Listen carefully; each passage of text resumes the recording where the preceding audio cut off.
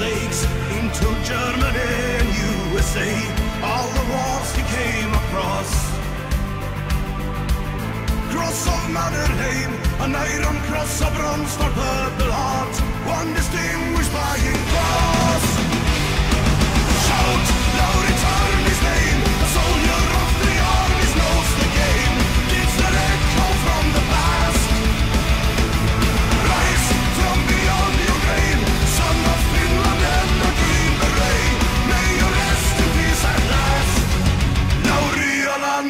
may